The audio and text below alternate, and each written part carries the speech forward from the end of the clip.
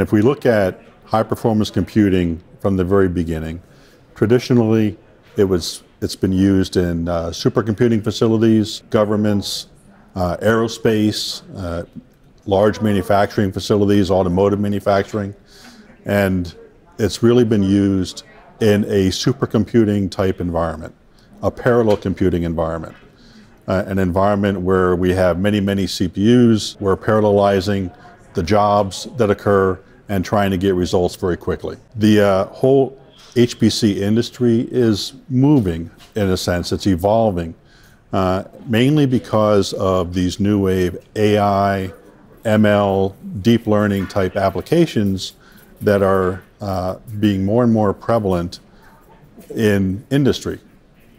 So, so we're seeing some uptake in uh, building HPC infrastructure, building HPC environments across enterprises, in retail, in healthcare, in other manufacturing uh, areas.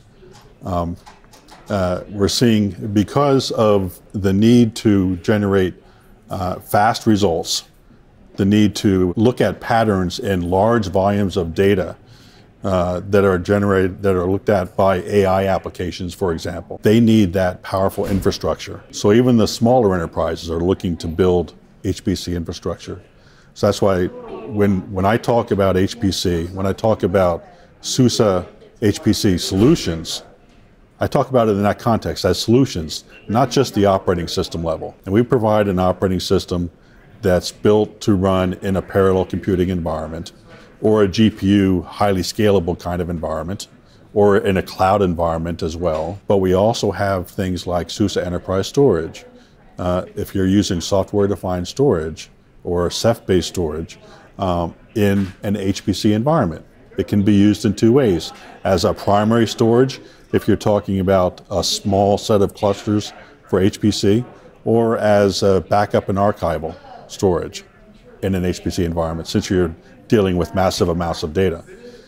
So there's the storage aspect of it, there's the cloud aspect of it.